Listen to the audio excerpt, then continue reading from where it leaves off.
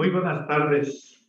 Continuamos con las actividades del decimonoveno Congreso Internacional en Análisis Organizacional y la celebración con motivo de los 25 años del programa en estudios organizacionales de la Universidad Autónoma Metropolitana en la Ciudad de México.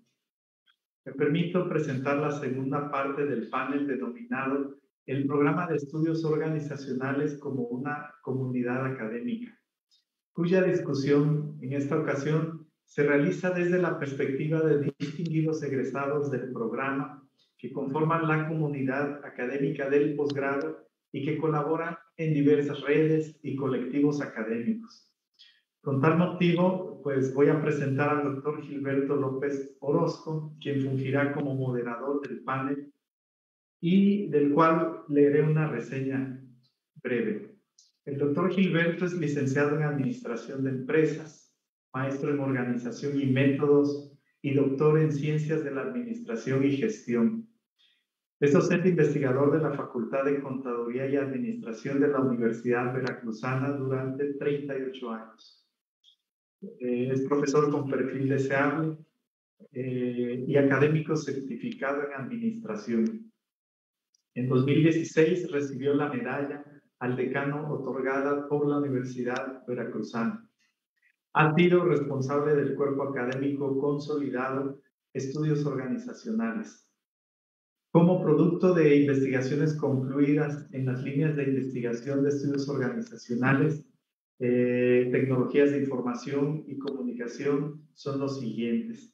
Tiene participación en congresos nacionales e internacionales, es autor y coautor de cuatro libros, autor y coautor de más de 35 publicaciones en artículos de revistas nacionales e internacionales y capítulos de libros. Eh, ha impartido diversos cursos a empresarios sobre administración por objetivos, organización, comunicación, empresas familiares. Fungió como coordinador del programa del doctorado en estudios organizacionales de la UAM Iztapalapa en la sede de la Unidad Veracruzana durante el periodo 2004-2008. Como profesionista independiente, ha realizado labores de consultoría e intervenciones en el área de organización desde 1982 en diversas organizaciones públicas y privadas. Bienvenido, doctor Gilberto. Tiene uso de la palabra.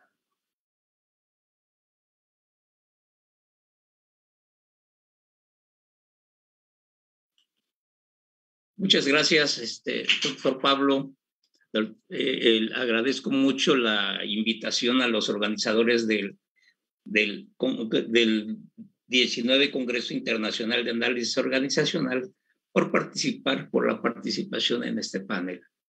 Eh, y bueno, eh, acompañado de varios compañeros, varios colegas, de los cuales voy a permitirme eh, eh, ir dando una síntesis curricular de cada uno de ellos. La doctora Soy Limeri Cruz Sánchez es doctora en estudios organizacionales por la Universidad Autónoma Metropolitana, maestra en educación por el Instituto Tecnológico de Estudios Superiores de Monterrey, maestra en administración y licenciada en contaduría por la Universidad Autónoma de Chiapas, en donde es profesora de tiempo completo desde 1996 impartiendo diversos cursos en licenciatura, maestría y doctorado. Fundadora y responsable del cuerpo académico en consolidación de estudios organizacionales y actualmente es coordinadora general del Centro Universidad Empresa Se Une de la UNASH. Es vocal del Comité Ejecutivo y coordinadora del Nodo Empresa Familiar y MIPYME de la Red Mexicana de Investigadores de Estudios Organizacionales, coordinadora de la Red MIPYME y empresa familiar del programa interinstitucional para el fortalecimiento de investigación y del posgrado del Pacífico. Es presidente de la red de incubadoras de empresas de Chiapas. Ha sido miembro del Sistema Nacional de Investigadores. Cuenta con perfil PRODEP, CEP y es profesional certificado de la ANFECA. Es miembro del Consejo Directivo y directora de investigación de empresas familiares del Centro de Investigaciones y Estudios Sociales y Económicos y de mercado del sector privado del Club de Industriales de Chiapas. Presidió la Junta Directiva de la Universidad de Ciencias y Artes de Chiapas y ha realizado y coordinado diversos congresos, investigaciones y publicaciones relacionadas con análisis organizacional, MIPYME y empresas familiares y la noción y colaboración de las organizaciones. Bienvenida, hoy.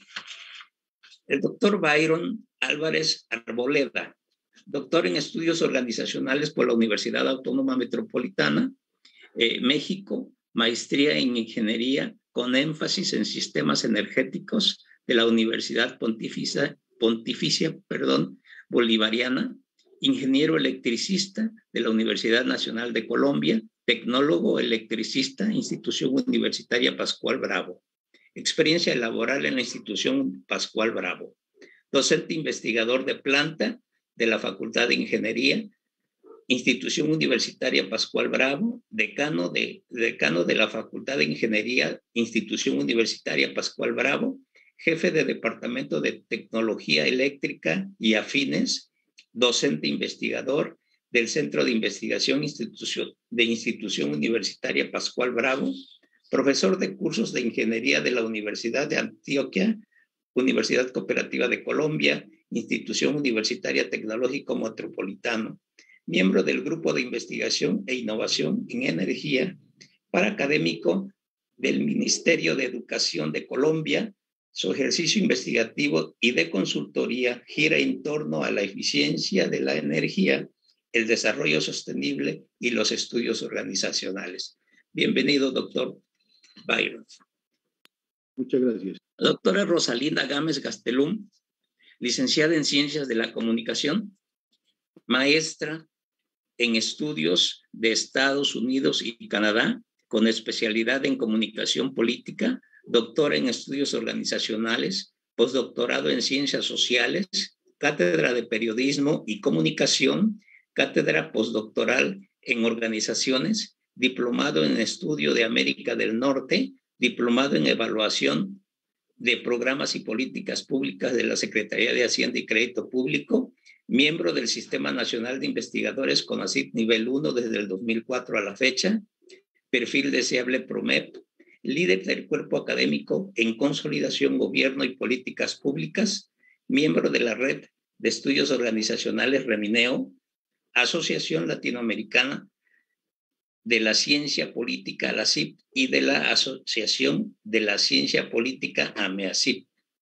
ambos grupos de trabajo de políticas públicas. Actualmente se desempeña como directora académica de la Asociación Académica Latinoamericana de Estudios Sociales. Es docente de tiempo completo de la Facultad de Estudios Internacionales y Políticas Públicas de la Universidad Autónoma de Sinaloa asesor de la Comisión de Posgrado para apoyar a egresados a titularse mediante trabajos de tutoría y asesoría. Es autora de cuatro libros en estudios organizacionales y ha coordinado cuatro libros de políticas públicas. Es autora de un libro de evaluación de políticas públicas, así como de 20 capítulos de libros en análisis organizacional y políticas públicas, así como 10 artículos científicos. Es directora de la revista arbitrada ciencia y universidad. Asimismo, ha desempeñado, se ha desempeñado como coordinadora de técnico superior universitario en negocios internacionales UAS, jefa del Departamento Académico de Ciencias de la Comunicación de la UDO, eh, Unidad Culiacán, coordinadora de maestría en comunicación organizacional, Unidad Culiacán, líder de la DES de Ciencias Sociales y Humanidades, coordinadora del doctorado en estudio de América del Norte, UAS, líder del Cuerpo Académico de Gobierno y Políticas Públicas UAS, Secretaría Académica de la Red Internacional de Políticas Públicas, Gobernanza y Seguridad del 2016 a la fecha, integrado por UDO, UAS, UDG, Universidad Autónoma de Ciudad Juárez, Universidad Estadual de Brasil y Universidad Central de Colombia. Bienvenida, doctora Rosalinda. El maestro Camilo Andrés Echeverría Gutiérrez es contador público, especialista en gestión tributaria, maestro en administración empresarial, maestro en administración de negocios internacionales, candidato a doctor en estudios organizacionales de la Universidad Autónoma Metropolitana de México. Es investigador senior categorizado por Miniciencias Colombia. Sus productos son temas contables, tributarios, administrativos, económicos, educación, innovación y emprendimiento. Presidente de, de Colombia, SAS, y de consultores de gestión administrativa LLC en Estados Unidos asesor y consultor en temas tributarios, financieros e innovación, ponente en congresos nacionales e internacionales, ha escrito en revistas científicas y libros. En su experiencia laboral de más de 17 años fue funcionario público de la División de Fiscalización Tributaria de la Dirección de Impuestos y Aduanas Nacionales de Colombia. Fue directivo de universidades en Colombia y funcionario del grupo Bancolombia. Bienvenido, maestro Camilo Andrés. Bien, pues eh, después de darles esta breve reseña curricular de cada uno de los participantes, iniciamos el, nuestro panel. Y para iniciarlo, permítame hacer eh, una breve introducción. El programa de posgrado de estudios organizacionales nace con la inquietud del trabajo de profesores de la licenciatura en administración de la UAM Iztapalapa. Sin embargo, hasta 1983, a partir de un análisis crítico de las teorías de organización tradicionales, proponen la creación de un área de investigación denominada estudios organizacionales. El grupo que impulsa esta nueva área de investigación son Antonio Barba, Eduardo Ibarra, Adolfo Mir, Luis Montaño, Guillermo Ramírez, Javier Salazar, Pedro Solís, George Rubalis y Milibaldo Rosim. Además de otras áreas e instituciones, colaboraron Enrique Cabrero, Eligio Calderón, Margarita Fernández y Víctor M. Soria, entre otros. Este esfuerzo de los precursores del programa de estudios organizacionales ha permitido la formación de investigadores y profesionistas, publicaciones, organización y participación en eventos nacionales e internacionales, convenios con diversas universidades públicas, nacionales e internacionales y organizaciones públicas y privadas.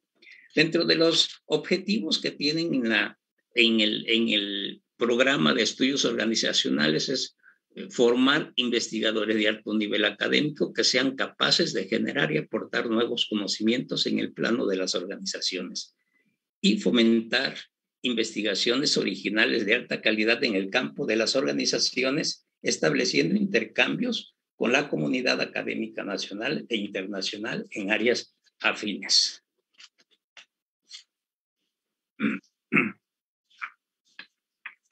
El programa de estudios organizacionales, maestría y doctorado fue aprobado por el Colegio Académico de la UAM el 31 de marzo de 1995 inició actividades el primero de septiembre del mismo año de 1995, incorporándose al padrón de excelencia del CONACIT. Maestría. Durante los 25 años de 1995 a la fecha, ha aceptado 15 generaciones. Se han impartido la maestría en dos instituciones de educación superior, UAM Iztapalapa, Azcapotzalco y Universidad de Occidente en la generación 99-2001. Han obtenido el grado de maestría en estudios organizacionales 167 egresados. Doctorado. Durante los 25 años del de 1995 a la fecha, se han inscrito 22 generaciones. Se ha impartido el doctorado en 10 instituciones de educación superior a lo largo y ancho de nuestro país y en Colombia, han obtenido el grado de doctor en estudios organizacionales 213 egresados.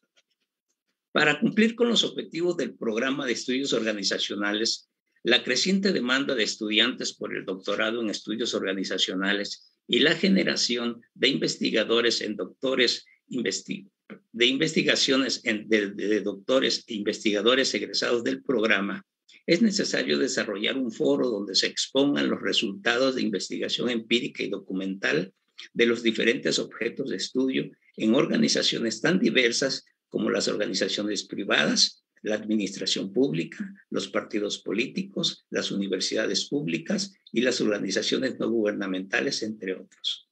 A partir de estas necesidades, un grupo de profesores del núcleo académico del programa de estudios organizacionales, destacando los doctores Antonio Barba, Luis Montaño y Guillermo Ramírez, entre otros, organizan el primer Congreso Internacional en Análisis Organizacional en noviembre del 2003 en la UAM Iztapalapa.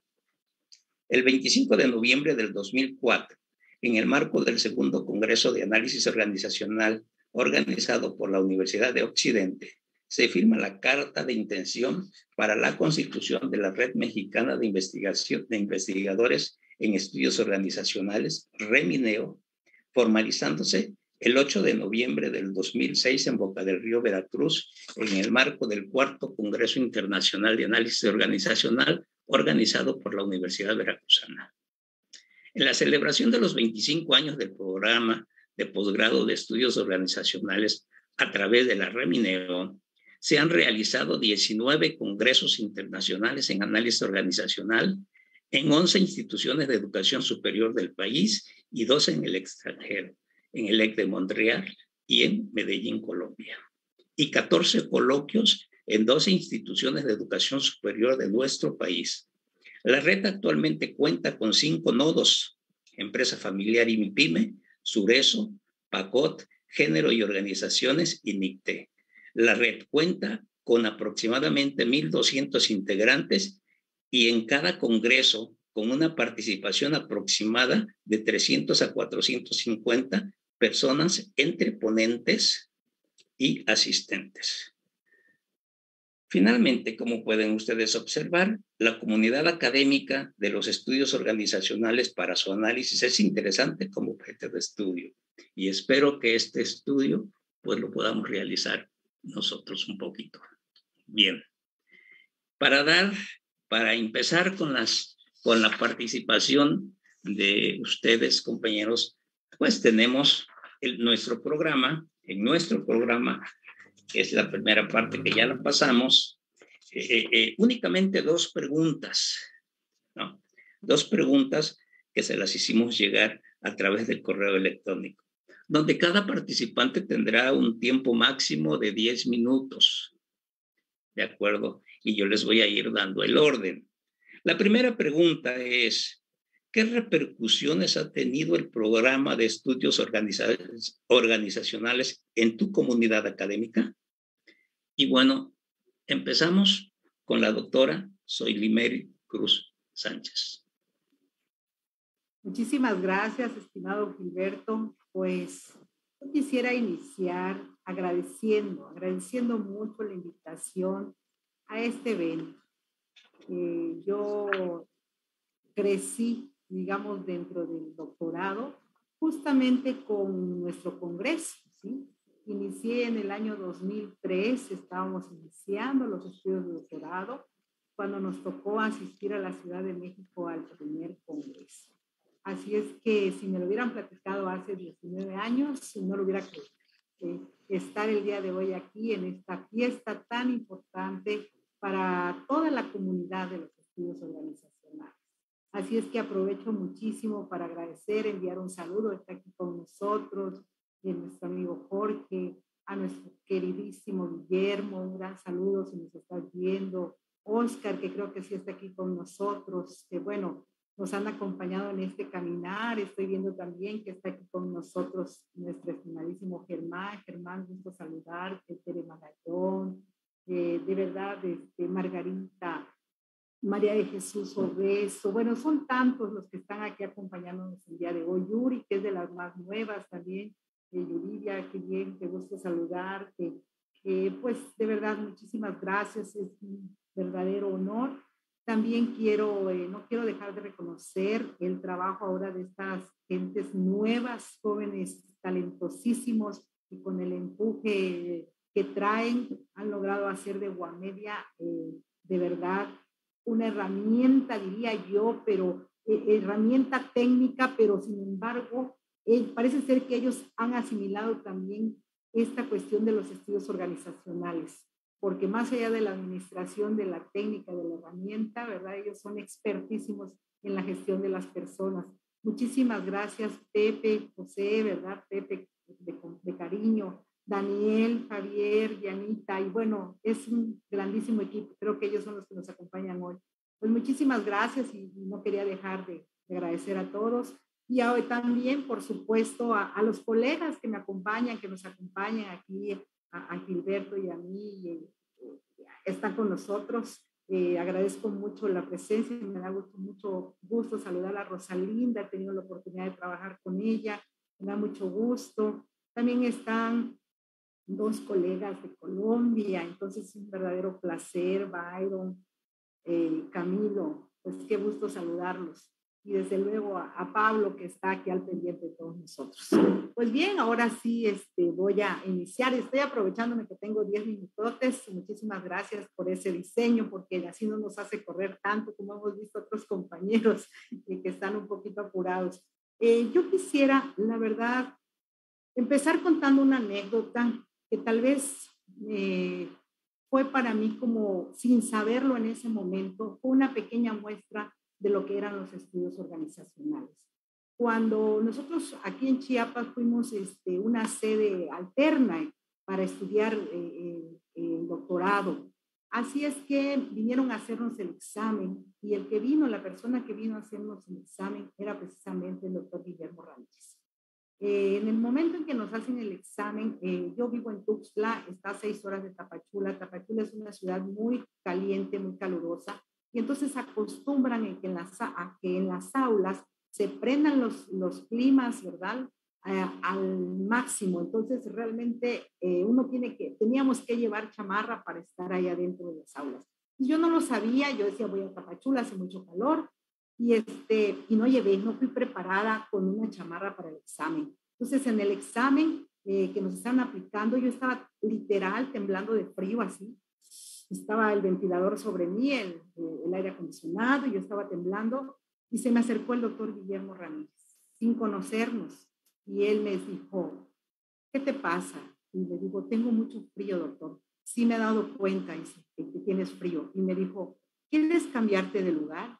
Yo me quedé así impresionada, la verdad, impresionada, impávida, así, porque no podía creer eh, lo humano del doctor Guillermo, ¿no? Porque ya habíamos tenido una experiencia previa intentando buscar un doctorado este, con colegas de otra, digamos, otra universidad, no voy a decir el nombre, pero una de las más, más la más grande de México, y entonces había sido una experiencia muy complicada, muy difícil. Así es que cuando yo escucho decir eso al doctor Guillermo y me permite cambiarme de lugar, de verdad que yo no sabía que me estaba metiendo al mundo de los estudios organizacionales. ¿sí? Entonces, esa fue mi primera experiencia cuando, como bien dice, y lo ha mencionado mucho a lo largo de, este magnífico evento, es poder diferenciar entre la gestión de las, perdón, la administración de las cosas y la gestión de las personas. Entonces, para mí eso fue un encuentro así grandísimo. Yo no sabía todavía qué eran los estudios organizacionales, no lo sabíamos. Incluso algunos terminamos el doctorado y todavía teníamos la duda, ¿no? ¿Y qué cosas son los estudios organizacionales? Pero bueno, eh, esa fue mi primera experiencia con este mundo. Cuando yo vi la humanidad que había detrás de los profesores, eh, de todos, de todos, de todos, de verdad, una gentileza, un deseo de apoyo, yo no podía creer que eso pudiera existir ¿sí? a ese nivel de doctorado. Eso impactó fuertemente en mí, por supuesto. ¿sí? Así es que eh, si vamos a comentar cómo hemos, eh, este programa ha impactado en nuestras eh, comunidades académicas, pues les comento, yo trabajo desde entonces, yo, tengo desde, desde 1996 en la Universidad Autónoma de Chiapas trabajando. Y en el 2003 tuve la oportunidad, le digo, de empezar a cursar este doctorado. Así es que yo creo que el impacto es tremendo, es muy grande, pero inicia con el cambio, con el impacto que hizo en cada uno de nosotros, en cada uno de los estudiantes. Nos dio herramientas valiosísimas porque esta forma de ser de nuestros profesores nos fue llenando de confianza, de querer buscar más, de saber que si iniciábamos una investigación, podíamos recurrir a cualquiera de ellos. Entonces, esta confianza fue permeando en nosotros, al menos fue mi caso, y fue haciendo que uno quisiera cada vez involucrarse más y más y más en estas actividades. Así es que yo creo que el primer gran aprendizaje, ya digamos en la parte académica que tuve y que fue eh, muy valioso para luego eh, reflejarlo en la institución, es entender la complejidad organizacional. Mi formación es de contador público, eh, como lo mencionabas, estimado Gilberto. Y luego había estudiado una maestría en administración y bueno, seguía en la misma línea, ¿no? La administración de las cosas. Y de repente estudié una maestría en educación que me empezó a cambiar la cabeza. Como que, espérate, parece ser que hay otras cosas más, ¿verdad? Parece ser que también el estudiante es importante, parece que, etcétera. Pero cuando estudio el doctorado, realmente me doy cuenta y empiezo en cada una de las materias a ver lo complejo que es la organización y en este caso mi universidad, a entenderla, ¿no? Porque a veces uno tiene cierta, pues ya ideas, preconcepciones y dicen, es que esto debe ser así, debe ser así, debe ser así. Pero cuando estudias los, ahora sí valga, los estudios organizacionales, te empiezas a dar cuenta de, de varias cosas. Y por ejemplo, nada más como ejemplo, aquí tengo algunas notas, pues por ejemplo empecé a entender que la universidad era un sistema flojamente acoplado tuve que ver la lectura, etcétera. Y entonces, pero ese entendimiento me permitió pensar en alternativas, empezar a buscar qué podía yo hacer en la universidad, considerando que habían esos espacios donde era posible trabajar y que esta estructura tan rígida que teníamos en nuestra universidad, eh, pues me permitiera avanzar. ¿sí? Y digo, me permitiera en primera instancia, pero no fue solo para mí, sino que el trabajo que empezamos a hacer fue para que también de los demás compañeros, aunque ellos no hubieran estudiado este doctorado, también empezaran a movilizarse y a tener eh, conocimientos de otras cosas, empezaran a participar en eventos que antes no se hacían en la universidad, empezaran a animarse a publicar, ¿sí? porque no se hacía en la universidad.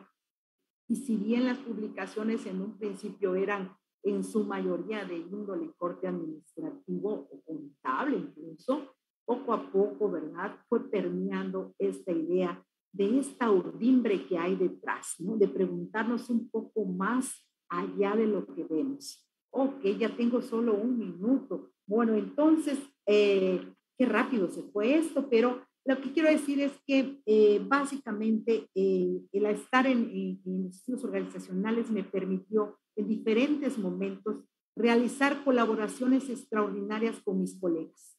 Así que en la actualidad estamos trabajando con Juanas Capuzalco, eh, estamos trabajando directamente con la Remineo y a través de ellos con otras redes y hemos logrado que un programa de la licenciatura en gestión de la MIPIME, ya lo mencionaba Oscar en su momento, creo que también Arcadio, ha, ha trascendido de tener 116 estudiantes, hemos logrado en dos años tener más de 500 y en diferentes partes del país. Hasta allá, hasta cada estudiante llegan los estudios organizacionales porque es a través del conocimiento adquirido que hemos logrado hacer toda esta gestión. No sé si creo que me terminé ya el tiempo, ¿verdad? Muchísimas gracias. El doctor Byron Álvarez, eh, si es tan amable, le puedo leer nuevamente la pregunta si gusta. ¿Qué repercusiones ha tenido el programa de estudios organizacionales en su comunidad académica? Bueno, de todas formas, no me va a tomar tanto tiempo como la doctora saludando a todos nuestros profesores, el profesor Germán Vargas Larios, que fue mi asesor de la tesis doctoral.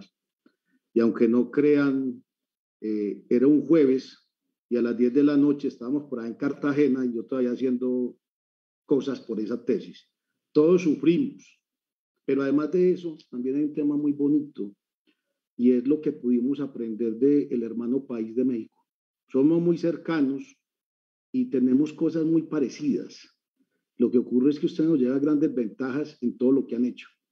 Mi entorno para la pregunta, eh, ¿lo puedo mostrar o lo leo?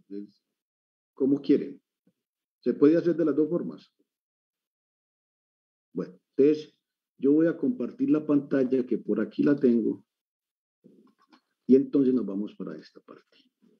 Básicamente estamos dentro de este panel. Muchísimas gracias por toda la invitación, información y todo lo que tenemos aquí. Mi entorno va a ser el consejo directivo. O sea, nosotros somos parte de una institución universitaria. Esa institución universitaria, el consejo directivo es su máximo órgano que define políticas, define todo este tipo de cosas. Y en esa institución tenemos varios delegados y son los que en última instancia determinan la universidad y esta institución que va a ser. Hay un delegado de la alcaldía de Medellín. Cuando me hablan de qué repercusión el programa ha tenido, pues fue esta alcaldía la que financió con recursos del municipio los estudios organizacionales de nosotros. En última íbamos a ser 15, en última logramos ser 11. Eh, fue muy interesante todo esto, hubo cantidad de problemas. Hay que agradecerle al doctor Guillermo, yo no sé, porque el señor tiene su cosa, yo no sé qué vamos a hacer sin él después, porque regularmente él es el que solucionaba todos los problemas que habían aquí. Ya qué problema tan tremendo teníamos, pero él siempre lo solucionaba y se logró sacar. Y nuestra promoción salió 2015-2018, todo gracias a él también, porque nosotros pensábamos demorarnos cinco años y no, que eso va muy bacano. Y muy bacano fue que en tres años logramos terminar eso. Fue muy complejo. Te cuento que fue muy complejo. Yo en esos días era el decano de la Facultad de Ingeniería. Tengo una familia, tengo un hijo, tengo una esposa y además de eso daba clases. Entonces eso es muy complicado. Pero de, a pesar de todo y con los consejos de todos nuestros profesores logramos sacar esto. Luego aparece el Ministerio de Educación Nacional. Listo. Cuando nosotros empezamos a trabajar con esto y nosotros tenemos cercanía al ministerio, eh, ya se están haciendo cambios en el enfoque de la administración del, del Ministerio de Educación Nacional. Ya, por ejemplo, ya se habla de actores, que antes no. Antes era un tema de administración y ustedes saben la gran pelea. Yo siendo ingeniero de base, ojo pues, soy ingeniero de base, pero la gran pelea entre la administración y el estudio organizacional uno no comprende mucho allá los profesores, eso mantienen sus cuentos y sus cosas, pero cuando uno habla de enfoques y de estudio organizacional y habla de actores, entonces ya esto va cambiando. En el misterio las cosas van cambiando hacia los enfoques de estudios organizacionales. Tenemos el presidente de la República que tiene asiento dentro de nuestro Consejo Directivo y una de las prioridades de esta presidencia es formación de recursos humanos de alto nivel. Nosotros hacemos parte de la OCDE. Eh, ese tema de la OCDE, eso ha jodido a nivel, pues uno dice que para bien, pero nos ha puesto en, en graves problemas porque teníamos muchas falencias en muchas cosas y dentro de eso es el tema que lo que tenemos de lo que tiene que ver con, con formación de recursos de alto nivel. Tenemos un tema, hay otra persona que son rectores universitarios. Mire, yo no, pues lo mismo vemos a nivel del mundo y entramos como en ciertos problemas ahora y es que las universidades tienen que cambiar su enfoque. No podemos seguir con estas funciones piramidales donde el rector va a decir, dice estas cosas. Cuando necesitamos en las universidades nuevos enfoques de dirección, los estudios organizacionales nos pueden proveer. Hay unos temas interesantes ahí. La doctora Solia hablaba de un tema que es un enfoque organizacional de tal tipo, del otro, las cosas. Pero no puede ser el enfoque de los administradores, aunque tenemos en nuestro grupo administradores. Ojo, pues que no tengo nada contra ellos. El sector productivo hace parte de nuestra institución. Nosotros hacemos desarrollos, nosotros hacemos parte de un comité Universidad Empresa Estado que es la CUE, donde tenemos opción de participar con los, con los empresarios. ¿ya? Esos grupos son instancias regladas organizadas por acuerdo entre universidades, sus grupos de investigación y empresas del sector productivo. Ya estamos haciendo innovaciones, mejoramientos de procesos, automatizaciones, una cantidad de cosas interesantes que tenemos ahí. Ahorita nuestra institución está montando lo que se llama el Centro de Innovación y Desarrollo en Tecnologías 4.0. Eso es un tema de última moda, de último concepto, y nuestro socio es Siemens, son los que más saben del mundo en eso. Eso vale dos millones de euros, ya se ha metido uno con el tema del municipio de Medellín que está apuntando a todo este tipo de cosas, pero casi que estamos organizando nuestros muchachos para que salgan a trabajar en las empresas y que hagan mejoramientos de eso, que básicamente si mejoramos las empresas, mejoramos la región, estamos mejorando el país. Hay un tema de las directivas académicas, ese no lo toco porque eso es interno, pero sí hay que hablar de los profesores. Listo. Y ahí me meto un poquito con la pandemia. La pandemia puso al desnudo las enormes limitaciones de las formas autoritarias y atrasadas en la gestión de los sistemas educativos. Tuvimos problemas muy graves. Nosotros tenemos aquí más o menos unos 8.000 estudiantes y cuando empezó la pandemia habían 8, 800 de ellos, el 10%, que no se podían conectar. No tenían un computador, no tenían un celular, no tenían nada de eso. Problemas muy graves, 800 muchachos. Y con un problema, nosotros la mayoría de nuestros muchachos son extractos 1, 2 y 3, donde los muchachos no es fácil conseguir esos recursos. En ese momento evidenciamos que había que gestionar, desarrollar inteligencia colectiva con capacidad para innovar y actuar con eso. ¿Qué se hizo? Por medio del ministerio se recogieron muchas cosas, hasta, hasta se hizo que algunos trajéramos de los computadores que nos sobran en la casa, dádivas y todo este tipo para poder utilizar, o sea, atender esa, esa población. Y seguimos teniendo problemas. La pandemia no se fue, la pandemia se queda y estamos, en, estamos inventando, yo digo estamos inventando, porque hay unos temas muy complicados ahí, lo que tiene que ver con los muchachos. A mí me dicen, no, en una semana das clase presencial y otra semana tranquilo, digital. No, a mis muchachos todo es presencial. Yo, yo formo los muchachos en ingeniería, en temas de laboratorios. Eso es muy difícil a punta de muñequitos, a punta de videos y cosas de esas, hacerlo. Pues si no, pues por ahí ya están diciendo que Google va a graduar ingenieros y va a graduar doctores por medio de, de esos, de esos videitos. Vamos a ver qué tal es la cosa. Yo no creo en eso. Y los profesores tenemos que ser parte de este cambio. Los estudiantes, este puede ser un gran momento para permitir a los estudiantes desarrollar aprendizajes significativos. Es que este tema de los TIC nos han hecho reinventar a todos. Y entonces los muchachos empiezan a hacer muchos desarrollos que son muy interesantes y que tenemos que apropiarnos de eso. No es el muchacho que nosotros depositamos el conocimiento, vemos su cabeza y la escuela de Ramos, no. Aquí tiene que haber unas cosas diferentes y tiene que haber modelos diferentes de educación. Y los egresados son, pero hablando de mismo porque los estudios son los principales actores de la organización y son la retroalimentación del sistema. ¿Qué nos están diciendo? ¿Qué tan malos, qué tan buenos estamos formando? Esto sí está funcionando, los muchachos sí han resultado, ¿cuál es el problema con ellos? Porque muchas, muchas veces dentro de las organizaciones que tenemos los olvidamos. El producto que sacamos no olvidamos de él. Y eso es muy grave. Entonces no sabemos cómo es que se está formando, qué es lo que se está haciendo en el medio y a veces no hay retroalimentación con ellos. Muchas gracias, muy amables.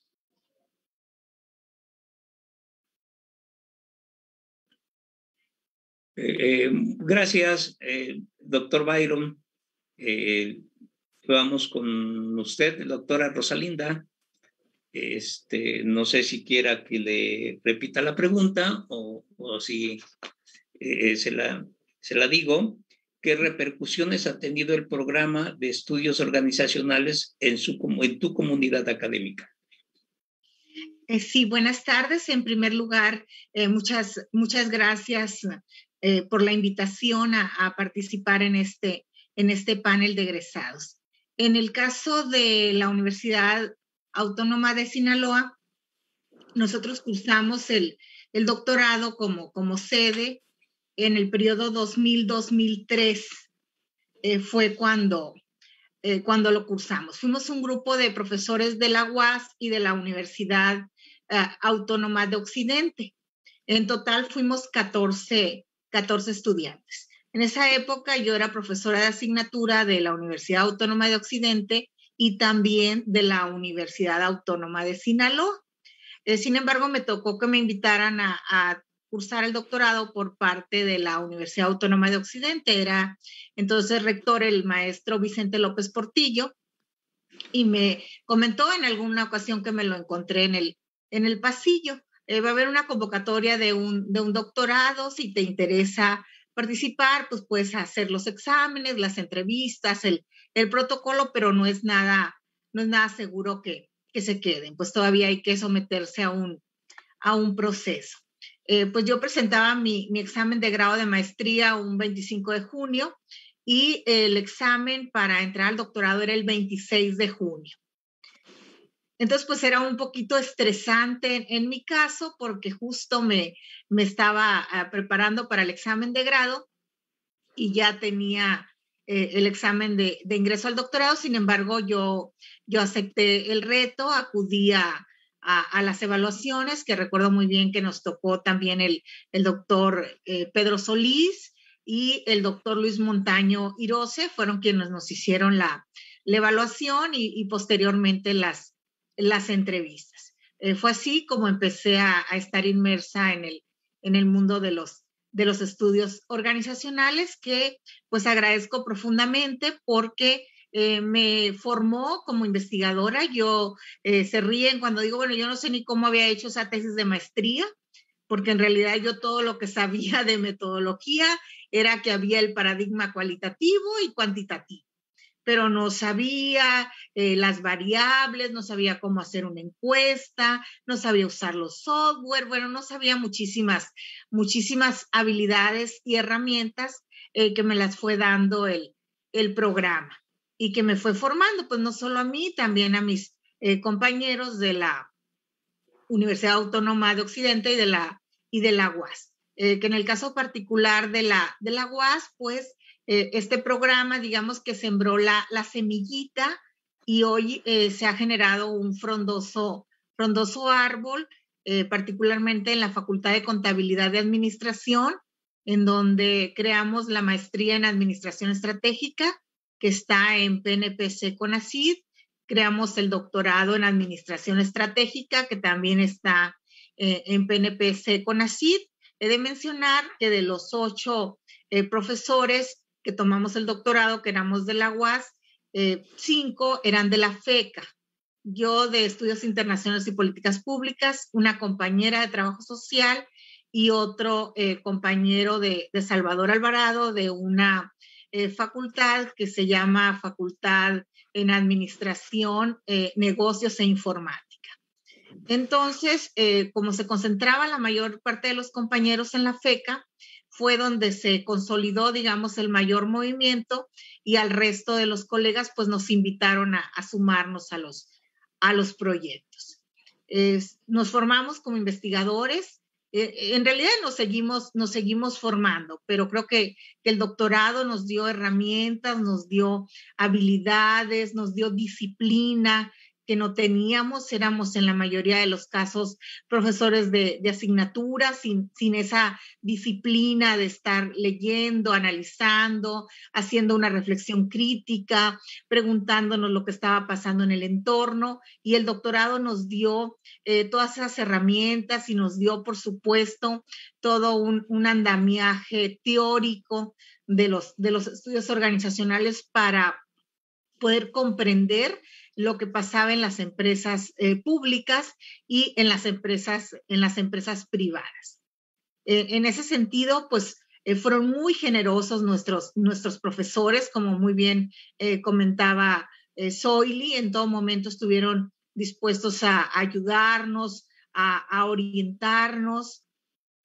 Y fue un, un, proceso muy, muy interesante de trabajo colaborativo también, eh, con, colegas de la Universidad Autónoma de Occidente, eh, que voy a mencionar algunos, de, eh, como Mónica Velarde, Andrés Gutiérrez, Rigoberto Soria, acá de la UAS, Gloria Nerti Navarro, Marco Antonio Rodríguez, Osvaldo del Castillo Carranza, Octavio Bojorques, Sandra Reyes, Lucía Cereceres, Socorro Borboa, Eduardo Chávez, que él venía de la Facultad de Contaduría y Administración Mazatlán, entonces, eh, pues éramos un, grupo bastante interdisciplinario.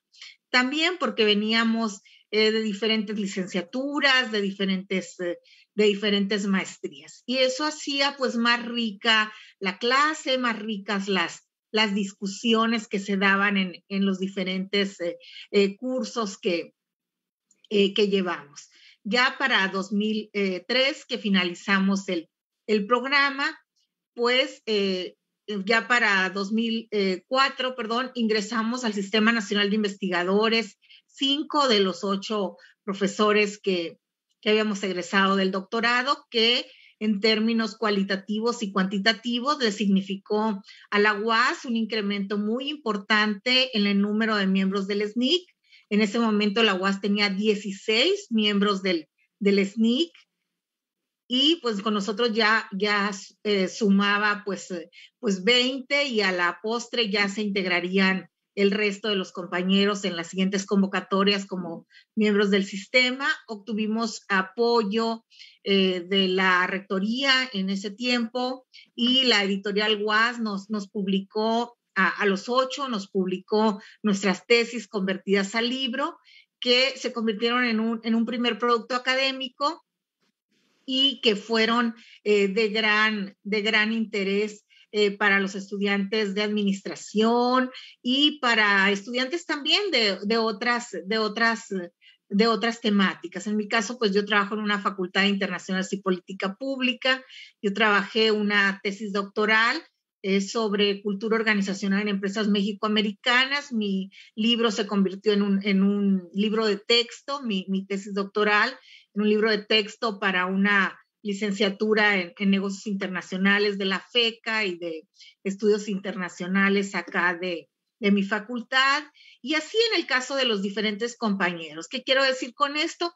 Bueno, no fue que nuestros eh, eh, libros eh, fueran la octava maravilla, sino que hay que ser muy humildes en ese sentido, sino que no había nada hasta ese momento en la región de, esta, de esta temática. Entonces nos tocó, nos tocó abrir brecha, nos tocó, nos tocó ser, eh, ser pioneros en ese sentido, organizar también algunos, algunos eventos, siempre introduciendo la parte de, análisis organizacional. En, el caso de mi facultad, pues a mí me ha tocado eh, ser muy insistente, muy persistente en que también con la teoría de la organización se pueden analizar las organizaciones públicas, eh, que es muy importante, por ejemplo, para el sistema de evaluación al desempeño, eh, para la rendición de cuentas, para analizar partidos políticos, para analizar gobiernos locales, que no ha sido fácil porque la teoría de la organización ha sido vista en forma tradicional eh, para estudiar a la, a la empresa privada. Y aquí en la Facultad de Contaduría y Administración, que agradezco mucho, nos han abierto las puertas para trabajar toda la, toda la parte de empresa privada. Eh, de nuestros colegas que les, que les comento, actualmente quedamos solo dos, ya seis colegas se han, se han jubilado. En la Universidad Autónoma de Sinaloa solo quedamos dos compañeros, un compañero en la Facultad de Contaduría y Administración y yo en la, en la Facultad de Internacionales. Y pues seguimos eh, todos los días eh, compartiendo esta pasión que es estudiar, valga la redundancia, los estudios organizacionales, que es un campo de estudio multidisciplinario y que ofrece grandes oportunidades de estudio, de análisis y de reflexión crítica. Muchas gracias por su atención. Ok.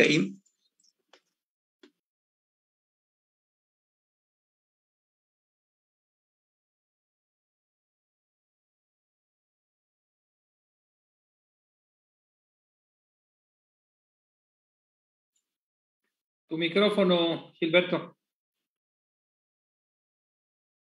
Tienes apagado tu micrófono, Gilberto. Ya. Ahora sí. Eh, sí, ahora sí. Este, gracias, doctora, eh, muy amable. Le toca al maestro Camilo Andrés Echeverry Gutiérrez. Con la pregunta, ¿qué repercusiones ha tenido el programa de estudios organizacionales en tu comunidad académica? Muy buenas noches para todos. Buenas noches, doctor Gilberto, doctor Pablo. Muy amables por la invitación. Eh, pues yo creo que lo primero es, como lo han hecho los compañeros, hacer un recorrido por lo que ha sido esta experiencia personal en los estudios organizacionales. Y en ese recorrido eh, yo creo que todos hemos tenido que mencionar al doctor Guillermo, porque sin duda ha sido un maestro para todos en enseñanza como personas. Eh, a él le, envío un especial y cordial saludo, al igual que, que a su familia. Muy agradecido con, con todo lo que ha eh, impactado en, en, mi vida, en mi familia, en, en mi organización y en, y en, todo lo que ha hecho desde que, desde que lo conozco. Eh, mencionaban que está también el doctor Germán, que eh, fue en inicios eh, asesor de mi, de mi tesis de, de, grado. Un cordial saludo también para él.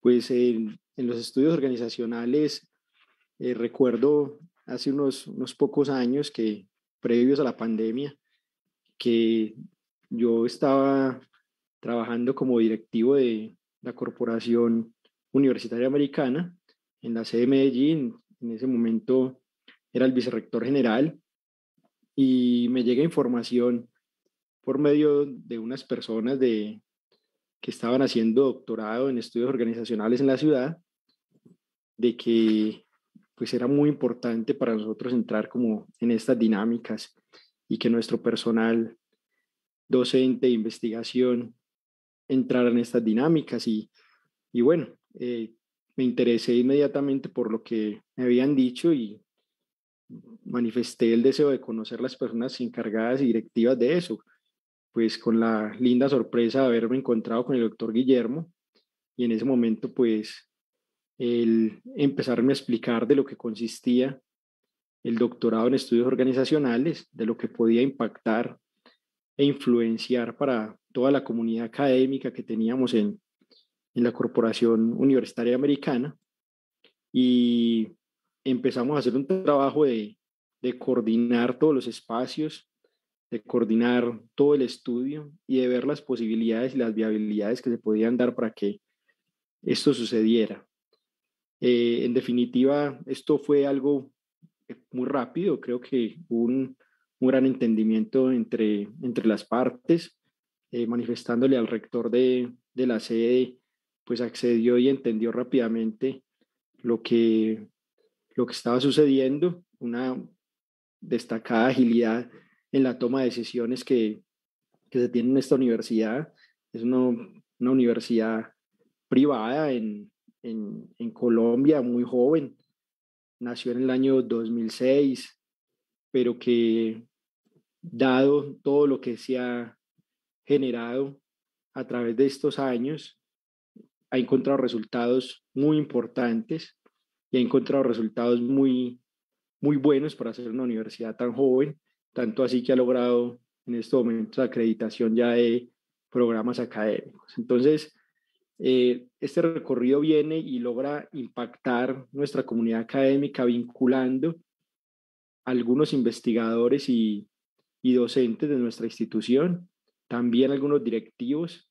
Eh, iniciamos a hacer el doctorado en estudios organizacionales y cuando empezamos las primeras clases nos dimos cuenta que no entendíamos nada, que no sabíamos nada de estudios organizacionales, se confundíamos todo, confundíamos administración con, con estudios organizacionales, no, no comprendíamos las, las dinámicas, es más, me atrevo a decir que eh, en mi caso todavía no logro comprender a profundidad todo, igual estoy en, el doctorado todavía en proceso, entonces eh, pues esta dinámica que va generando los estudios organizacionales es muy, muy linda y muy atractiva cuando da la posibilidad de ponerla en práctica. Pues es así que la influencia de, de los estudios organizacionales en, en nuestra comunidad académica eh, pues ha permitido comprender que en la universidad hay un espacio en el que habitamos como una sociedad abierta, con diversidades, pluralidades, eh, complejidades, en la que se presenta una serie de fenómenos que son variables e inciertos.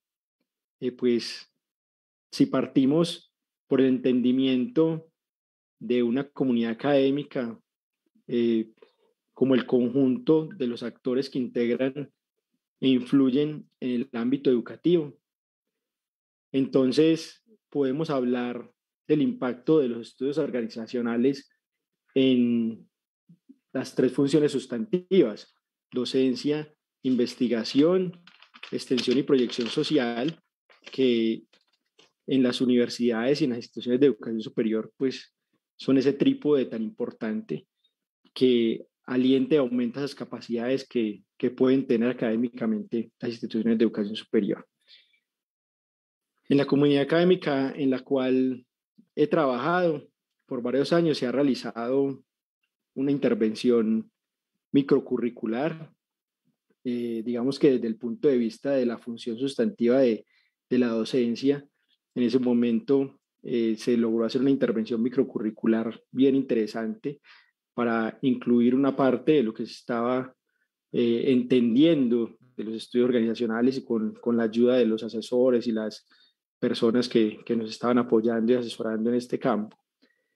Eh, esto permitió que pudiéramos permear no solamente las personas que estábamos haciendo los estudios, que éramos, que somos en este momento 10 personas, eh, un entendimiento interno y externo en la docencia para que se comprendiera y se valorara lo que eran los estudios organizacionales, porque eh, pues, requiere una comprensión más profunda de lo que es. Eh, se hicieron unos procesos que, que intervinieron la calidad académica, ¿sí? se capacitaron los docentes y se incorporaron nuevos docentes con más experticia en los estudios organizacionales, lo que ha permitido que las personas que estábamos eh, eh, estudiando los, los, el doctorado en estudios organizacionales, pues pudiéramos dar con una capacidad y un entendimiento mucho mejor a nuestros docentes y estudiantes eh, capacitaciones para que entendieran este, este, este fenómeno que estábamos viviendo en ese momento para, que, para poderlo permear de una forma adecuada a la comunidad académica. Desde la función sustantiva de investigación eh, se incrementaron los casos de, estudios organizacionales, eh, dado que pues ya éramos varios los que estábamos como docentes investigadores y lográbamos eh, aterrizar mucho más los conceptos y eso permitía que en los congresos que hacíamos dentro de la institución aumentaran los, capítulos del libro, aumentaran los artículos, aumentaran las investigaciones trabajos alrededor de los estudios organizacionales y los docentes fomentaban en los estudiantes un poco más de las capacidades alrededor de los estudios organizacionales y motivaban para que se formaran semilleros de investigación alrededor de los estudios organizacionales. Eh, se hicieron adicional investigaciones aplicadas en diferentes organizaciones, ¿sí? organizaciones eh, principalmente eh, privadas, pymes, en las que se lograba impactar un poco más para entender estos fenómenos, pero sin duda el, el poder entender y comprender lo que los individuos estaban en ese momento comprendiendo, eh, llámese docentes, llámese investigadores, llámese estudiantes, pues nos permitía y también directivos y, y planta administrativa, nos permitía ir eh, dando unas capacidades adicionales para poder eh, saber cuáles eran las, las influencias que podíamos dar de estudios organizaciones alrededor de toda la comunidad educativa. Se incorporaron temas en, en los congresos, en los seminarios, en los talleres, en las evaluaciones que tenían que ver alrededor de los estudios organizacionales.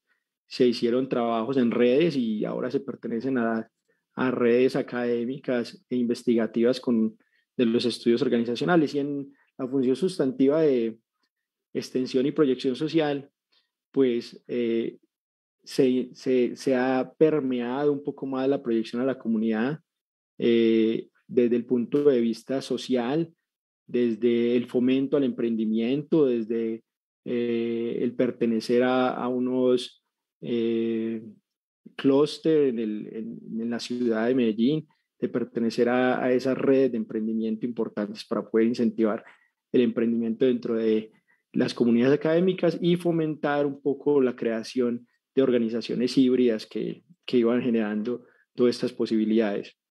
Eh, también se ha fomentado las innovaciones internas eh, con estudiantes. Esto ha sido un trabajo, digamos que por estar dentro de las tres funciones sustantivas, ha, ha permeado, digamos que que a toda la comunidad académica y un acompañamiento a las empresas en procesos de desarrollo tecnológico e innovación, organizaciones híbridas que les contaba ahorita. Hasta ahí mi intervención. Muchas gracias a todos.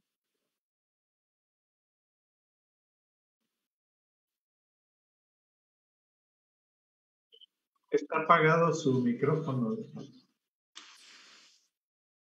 Ahora sí. Sí. Gracias, este maestro, maestro Andrés Cheverry. Eh, este, continuando con la segunda pregunta, le toca iniciar a usted. Este, usted, Camilo Echeverry. La segunda pregunta es si tendría otros 10 minutos para usted. A partir de tu experiencia en la comunidad académica de estudios organizacionales, ¿qué sugerencias puedes aportar para fortalecerla? Bien, doctor, muchas gracias. Eh, bueno, a ver, esto ya es una consideración, digámoslo, muy personal. Personal. Sí, sí, señor, yo considero que debemos partir de que los estudios organizacionales pueden aportar en el fortalecimiento de la comunidad académica. Si se permea transversalmente los individuos y la sociedad, como explicaba en la, en la respuesta anterior. Para esto se debe, en, mi concepto, agregar a las tres funciones sustantivas de docencia, investigación, extensión y proyección social, eh, a, la, a la estrategia, a la dirección, digamos que ahí es fundamental para que los directivos se involucren y permitan la generación y transferencia eh, de conocimiento y de nuevo conocimiento para que todos los beneficiados puedan desarrollar al máximo sus capacidades y habilidades en los retos académicos que estos van a enfrentar o que enfrentan.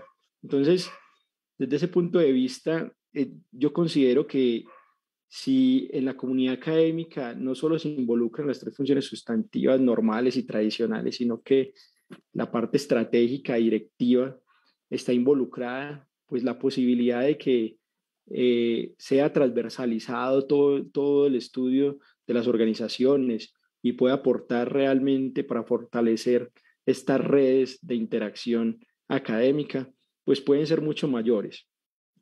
Porque sin duda esto es importante si trasciende las esferas del conocimiento hacia la sociedad, o sea, si no se va a quedar en, en, simplemente algo interno o algo que, que, se está gestando entre unos pocos, pero para que esto se logre, eh, tiene que ser de varias personas, de varios individuos, y, esto debe ser eh, algo como bien lo están planteando la pregunta de una comunidad académica que, que ahorita deja un planteamiento al final a ver si esto puede llegar a, a, otro, a otro ritmo.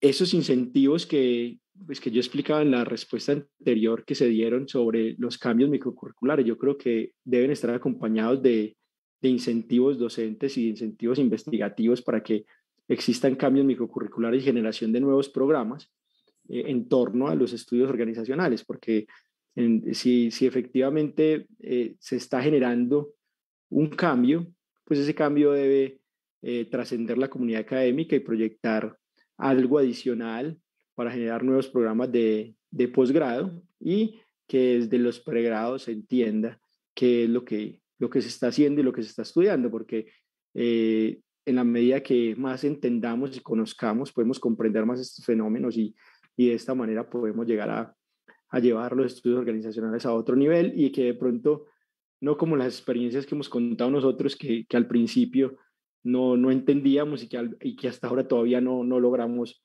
entender del todo y a veces eh, confundimos ciertos conceptos o hay ciertas diferencias que son importantes empezarlas a, a cubrir. Eh, considero que se debe aumentar la cantidad de docentes expertos, o sea, en la medida que uno vaya queriendo eh, fortalecer estas redes y comunidades académicas en los estudios organizacionales, pues requiere que, que existan más docentes e investigadores expertos en el área de los estudios organizacionales para impactar mucho más la comunidad académica, las instituciones de educación superior.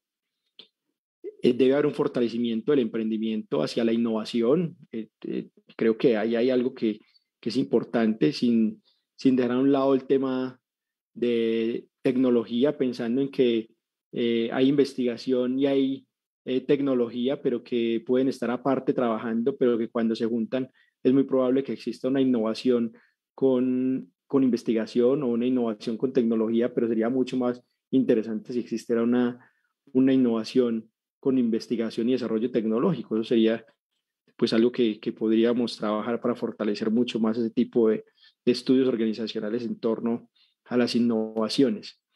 Que sigan aumentando los trabajos de grado y tesis en temas de estudios organizacionales. Creo que ahí hay que seguirle trabajando muy fuerte eh, con el apoyo de las redes investigativas y de las redes académicas.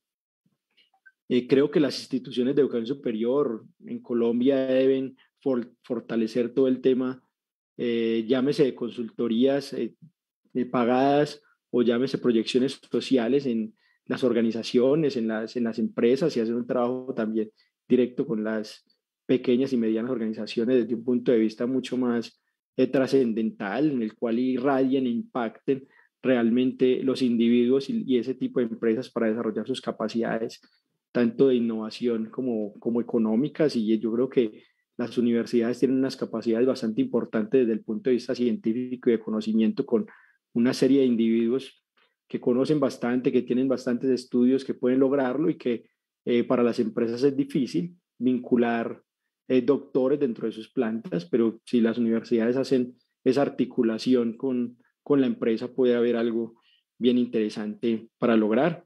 Debe haber una acción social organizacional con los estudiantes y con la sociedad este es un planteamiento que me parece que debe existir, un trabajo en, en conjunto, en común, no el estudiante visto como un cliente o como alguien que paga, sino desde un punto de vista que es un individuo que tiene familia, que hace esfuerzo y es un componente más de la comunidad académica que es muy importante y que puede contribuir al mejoramiento y al crecimiento de la, de la institución, no solamente a entregar unos recursos para que esa subsista. Eh, debe haber un mejoramiento del desempeño académico, investigativo y de calidad. Eh, debe haber una estrategia en colaboración con los estudiantes y con los docentes. Eh, considero muy importante que todo esto que se está dando en el estudio organizacional debe darse eh, en laboratorios vivos para experimentar en campus. O sea, me, creo que, que es muy importante el tema de laboratorios para que eh, los, no se quede solamente en papeles, no se quede solamente en escritos, sino que esto trascienda y vaya más al actuar y los estudiantes sientan de, de primera mano lo que es estar eh, en los estudios organizacionales, lo que es vivir en la, en la comunidad realmente. Y para finalizar, quiero dejar algo y es si no solo podemos hablar de comunidad académica, sino de una sociedad académica como, como lo, lo vive uno en una universidad. Muchísimas gracias.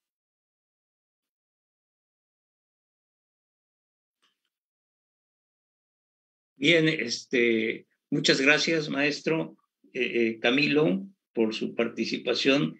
Le toca a usted, doctora Rosalinda Gámez, eh, con la pregunta, a partir de tu experiencia en la comunidad académica de estudios organizacionales, ¿qué sugerencias puedes aportar para fortalecerla? Bueno, muy bien. En primer lugar, destacar que esta comunidad científica se ha fortalecido eh, con Remineo, con la Red Mexicana de Investigadores en Estudios Organizacionales, reconocer el trabajo tan fuerte que se ha hecho desde la red al maestro Guillermo Ramírez, a Jorge Rosas, a todo el equipo, a los integrantes de los nodos. En ese sentido, no estaríamos partiendo de, cero si hacemos un, un diagnóstico situacional o un diagnóstico institucional de cómo, de cómo estamos. Creo que tenemos una, una gran riqueza, tenemos eh, publicaciones, tenemos una, una revista. Sin embargo, siempre hay áreas susceptibles de mejora. Eh, en ese sentido, yo me permitiría eh, proponer la creación de un repositorio en donde se publicaran los trabajos más relevantes de análisis organizacional de quienes formamos parte de esta comunidad. Esto nos permitiría conocer lo que están haciendo nuestros colegas de, primera mano y citarlos en nuestros trabajos. Muchas veces citamos autores eh, estadounidenses, autores eh, australianos, etcétera, eh, y ¿por qué no citar a, autores locales, autores regionales, autores nacionales, autores latinoamericanos, sobre todo ahora que cada vez es más importante el número de citas A y citas B que tienes al momento de que te evalúe eh, el Sistema Nacional de Investigadores eh, eh CONACYT. También eh, es cada vez más importante y ya el Sistema Nacional y CONACYT lo evalúa, la parte de divulgación científica. Eh, en ese sentido, eh, yo propondría una mayor comunicación, una mayor divulgación eh, científica entre los diferentes nodos, incluso una formación de nuevos nodos si sentimos que no todas las temáticas están representadas. En el caso del nodo de empresa familiar, que dirige la, la, doctora Soili. Yo le quiero agradecer que ella siempre nos está informando de qué están haciendo, nos está nos está invitando y hemos participado en, los congresos. Recientemente, el, año pasado ya estuvimos eh, participando en el Congreso Internacional y Nacional. Entonces, así como la doctora Soili hace ese, ese esfuerzo que es muy meritorio y es de reconocerlo, creo que todos desde los diferentes nodos eh, deberíamos de hacerlo. En lo particular, pues crear este, este repositorio para aumentar la visibilidad del trabajo científico y académico de, esta comunidad, eh, fortalecer los nodos y entre nosotros mismos apoyarnos eh, para visibilizar nuestro trabajo como conferencistas a través de talleres, como docentes, eh, en los comités de tesis, que también cada vez se vuelve más más relevante, que bueno, siempre lo ha sido, pero últimamente eh, ya te cuentan incluso las, las codirecciones de tesis. Eh, estar en, en, comités de, de, tesis de maestría, de tesis doctorado del área de, de estudios organizacionales, porque en donde somos universidades que no hay un programa propiamente de, de, estudios organizacionales, pues acá, como les comentaba, pues hay en administración y nosotros hemos luchado muchísimo al interior de la Universidad Autónoma de, Sinaloa por introducir la línea de análisis organizacional. Lo hemos logrado en estos, en estos dos posgrados, también en otras maestrías, la parte de organizaciones públicas, pero sí nos falta todavía eh, mucho camino eh, por andar. Eh, se tiene la revista de análisis organizacional, que yo no sé cuál sea su situación actual, creo que es arbitrada, pero tal vez pensar en que avance a ser una una revista indexada en Latindex, en Redalic, incluso ir eh, avanzando hasta llegar a estar en, en EBSCO. Y pues pensar también en tener como una especie de directorio para cuando algún colega quiera hacer una estancia de investigación o una estancia postdoctoral, pues que sepa a, quién acudir, que sepa quiénes tendrían sus, sus líneas de investigación eh, similares. En suma, eh, ¿qué propongo? Un, trabajo colaborativo que haga más visible los esfuerzos que hacemos en esta comunidad científica, que en muchos de los casos los hacemos en forma aislada, pero creo que si lo hacemos en forma colaborativa, eh, como equipos de trabajo, eh, podremos obtener mejores resultados. Muchas gracias. Gracias, doctora. Eh, eh, muy amable. Eh, le corresponde al doctor Byron Álvarez Arboleda y la pregunta, con la segunda pregunta, a partir de tu experiencia en la comunidad académica de estudios organizacionales, ¿qué sugerencias puedes aportar para fortalecerla? Muchas gracias. siguiendo con este tema, voy a empezar por aquí. Lo primero que debemos hacer es construir confianza. La confianza es el elemento principal de trabajo de una organización. Sin eso es imposible que podamos desarrollar cualquier cosa. Impulsa un ambiente donde todos los participantes conozcamos la habilidad de los demás y que entendamos los roles que se sepan. Cuando empezamos, yo creo que nos pasó a todos. Cuando empezamos el estudio organizacional, uno no sabía si eso es administración, yo vengo de la ingeniería, menos que sabemos porque eso no se nos enseña. Entonces la cosa se pone todavía más complicada. Entonces yo pienso que esa palabra tiene que estar inmersa ahí en la universidad y desde la UAN tiene que construirse estos temas. Lo otro, lo segundo sería involucrar la comunidad en las decisiones de la universidad o de la organización. ¿Eso qué es? Hay que abrir todos los estamentos de la universidad.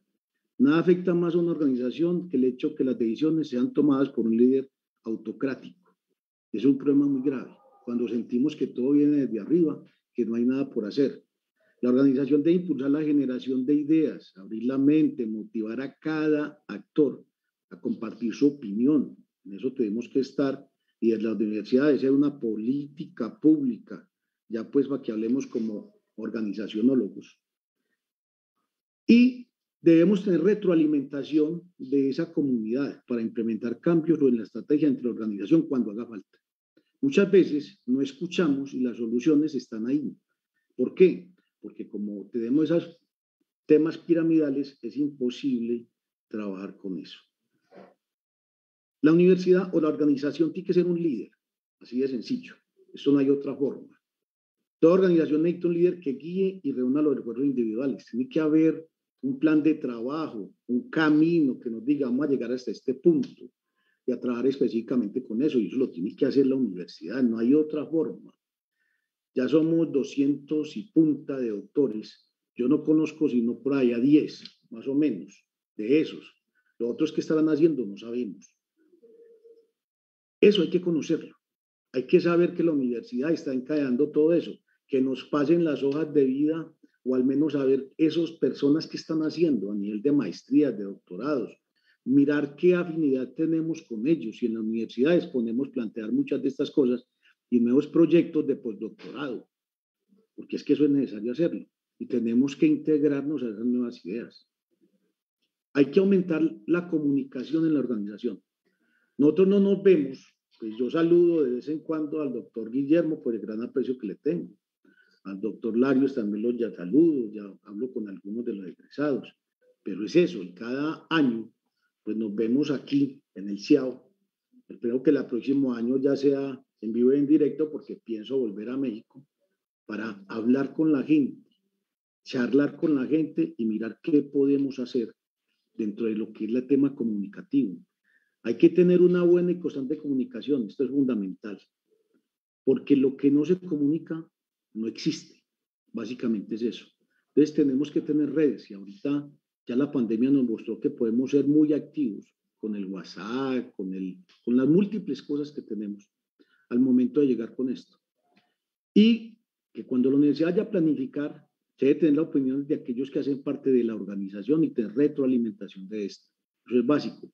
Cuando se hagan los planes de desarrollo, nosotros como egresados hay que abrir esos espacios a los estudiantes, al sector productivo, para ver qué es lo que está haciendo la universidad.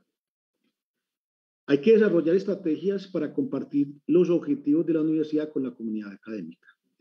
Yo no sé cuál es el plan de desarrollo de la UAMI, no lo conozco, pero sí podríamos tener algunos aspectos donde nos acerquen a esos temas donde nos veamos en esos planes de desarrollo, en esos planes de gobierno, que nos acerquemos a eso para ser parte nuestra y de nuestra comunidad. Las metas que se diseñan en la universidad deben ser compartidas. ¿Esto qué quiere decir? Que requiere fundamentar objetivos con las ideas comunes de quienes hacen parte de la comunidad académica. Estos temas hay que bajarlos. Muchas veces esos planes de desarrollo no los conoce sino el rector y, y los que lo hicieron. Eso no debe ser así. Donde todos debemos aportar y mirarse el proceso de ejecución de las responsabilidades. Hay una propuesta que les tengo para la universidad y para la UAMI y para el CIAO y en una formación de escuela de líderes, de líderes en la organización. Hagamos una escuela de líderes, formemos desde el doctorado, desde la universidad y empecemos a formar a esta gente. Miremos Vea, siempre hay personas destacadas en toda organización. ¿No que sí? Hablamos del doctor Guillermo, hablamos de compañeros que son brillantes. Y uno dice, ve, este muchacho puede servir para otra cosa, no, no solamente ser profesor. Entonces yo pienso que debemos formar esa escuela de líderes y debe salir como idea del CIAO, de la universidad, del doctorado, de alguna parte. Y ya nosotros, si ustedes ven la gran responsabilidad que tenemos ahora a nivel de mundo. Entonces ya viene gente de Canadá, viene gente de Latinoamérica, vemos gente de Europa, viene gente de Australia, donde ahora es muy fácil meternos en este, en, esta, en este tema. Esos actores tenemos que mirar la motivación que tienen, o sea, qué nos mueve, qué es lo que nos mueve para hacer en este tema las organizaciones, y no necesariamente el dinero. Eso tal vez la, el COVID y nos mostró que no solamente el dinero mueve a las personas, a veces es un problema grave para esto. Esas organizaciones debemos, o sea, hay que invertir tiempo en capacitar a los actores que garanticen eso del esfuerzo y desarrollen aquello que han adquirido en cada uno de sus labores o tareas. ¿Cuál es el tema de esto?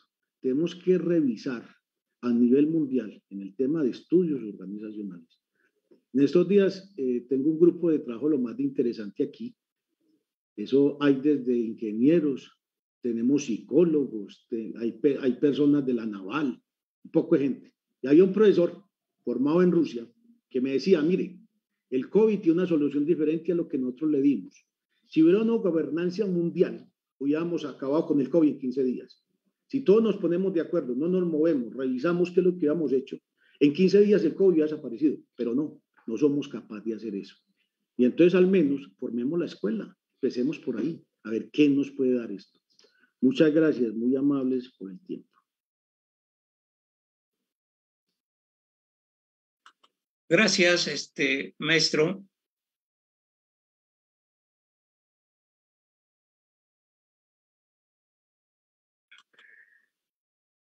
Gracias, sí, ya, ya está. Gracias, maestro Byron, este, estoy muy amable. Y terminamos con la doctora Soylimeri con la segunda pregunta. A partir de tu experiencia en la comunidad académica de estudios organizacionales, ¿qué sugerencias puedes aportar para fortalecerla? Muchísimas gracias. Pues bueno, ya en la recta final, con este cierre, estamos escuchando atentamente a los compañeros. Yo quisiera eh, retomar dos conceptos que aprendí en el doctorado y hubieron y que cambiaron mi vida y que cambiaron, creo que mi influencia, desde, claro, mi participación, mis alcances, pero creo que ha sido de gran beneficio para mi institución. Y fueron dos conceptos que ya lo han mencionado acá y que uno de ellos incluso fue motivo de mi tesis doctoral, que fue precisamente la noción de colaboración. O sea, ¿por qué las personas deciden colaborar?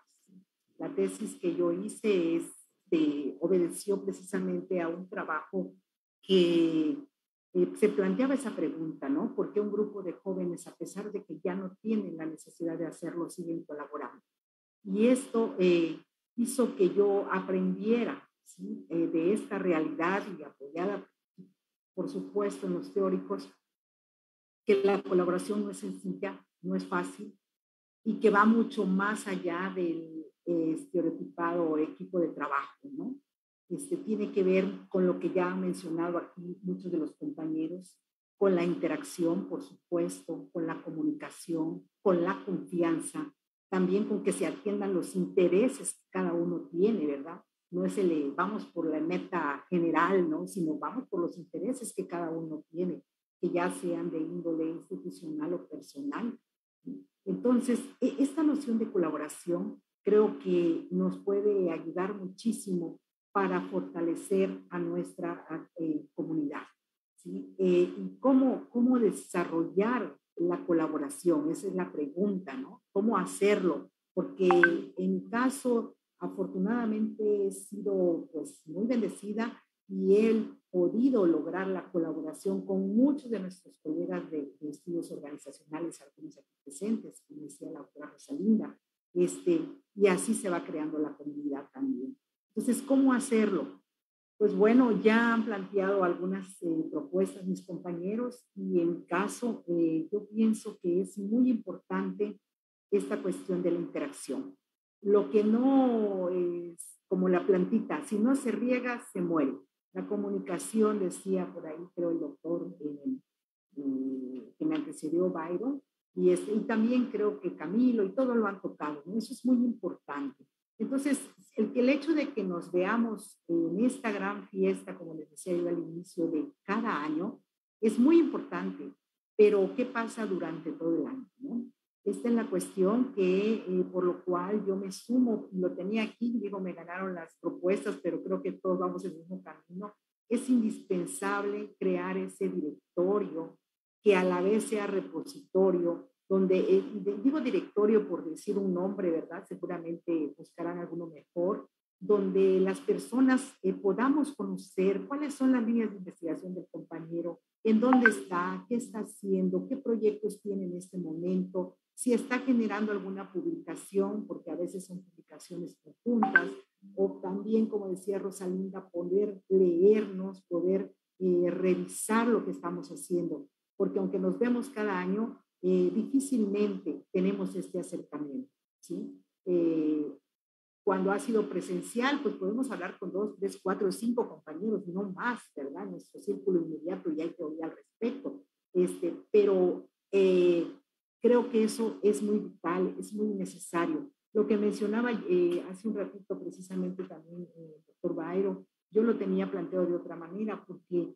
cuando hablamos de que existe en la red eh, mexicana de investigadores, en Remineo, en nodos, este, y que hay nodos que están trabajando, quizás su trabajo es más silencioso, pero lo están haciendo, y que faltan muchas áreas más, pues podría precisamente este conocimiento de todos, a disposición de todos, podría ir generando estas nuevas propuestas de líneas de investigación.